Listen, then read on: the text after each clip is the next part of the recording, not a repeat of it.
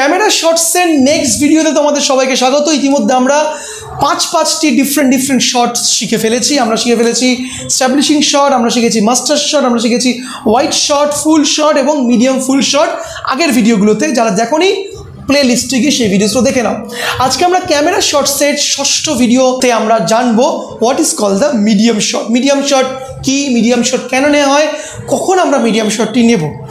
তোমরা যারা সিনেমাটোগ্রাফি ফিল্ডে কাজ করতে চাইছো, তোমরা যারা ক্যামেরা পার্সন হতে চাইছো, তোমরা যারা ফিল্ম মেকার হতে চাইছো, তাদের ক্যামেরা শট জানা অবশ্যই দরকার। ক্যামেরা শট না জানলে তুমি কিন্তু ভালোভাবে কাজ করতে পারবে না।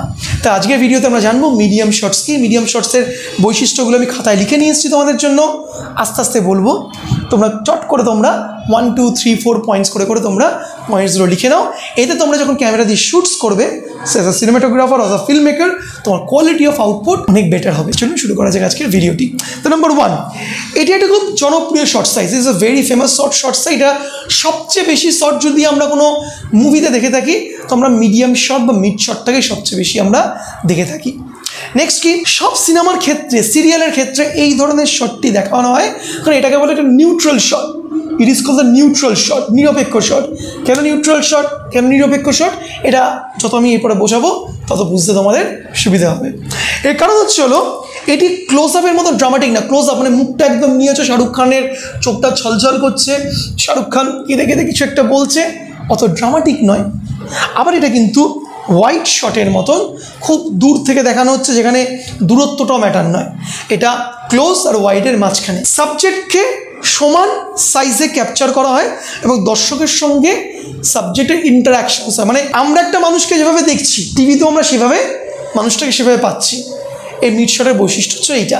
মানে দর্শকের সঙ্গে ইন্টারাকশনস হচ্ছে সাবজেক্টের সাধারণত এমএস বা মানে এই শটটি নেওয়া হয় মিড শটটি নেওয়া হয় মাথার থেকে বুক পর্যন্ত মাথার উপরে কিছুটা জায়গা ফাঁকা রাখা মাথারও কিছুটা জায়গা হেড স্পেস রাখা হয়। দেখতে সুন্দর লাগে। অ্যানিমেটেড সিনেমা অ্যানিমেটেড ফিল্মের ক্ষেত্রে কিন্তু আমরা এই মিড শটটি দেখে থাকি প্রচুর প্রচুর ইউজ হয় অ্যানিমেটেড মুভির ক্ষেত্রে এই মিড শটটি করার প্রয়োজন হবে যখন সাবজেক্ট সাইজ ঠিক রাখতে হবে। সাবজেক্টসের সাইজ ঠিক করা খুব প্রয়োজন।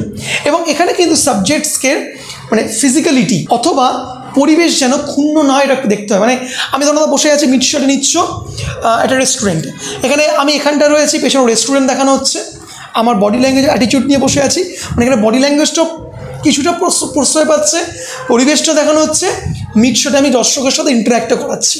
ওকে তো এক্ষেত্রে কিন্তু শটের সঙ্গে অডিয়েন্সের কানেকশন অনেক বেশি দৃঢ় হয়ে যায়, অনেক বেশি ফোকাস হয়ে যায়। তো অফকোর্স মিড শট আমরা কখন নেব? মিড শট আমরা নেব যখন দর্শকের সঙ্গে অডিয়েন্সের সরাসরি কানেকশন ক্রিয়েট করতে চাইছি বিল্ড করতে চাইছি অডিয়েন্সের সঙ্গে সাবজেক্টের অনুভূতিটাকে কানেক্ট করতে চাইছি, তখন এই শটটা কিন্তু আমরা অবশ্যই নিয়ে থাকি।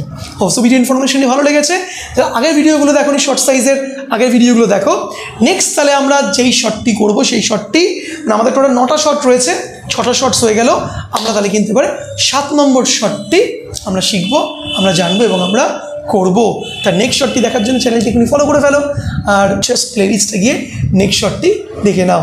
দেখো এরপরে ইন্টারেস্টিং টপিকে তাদের কাছে good bye and see you once again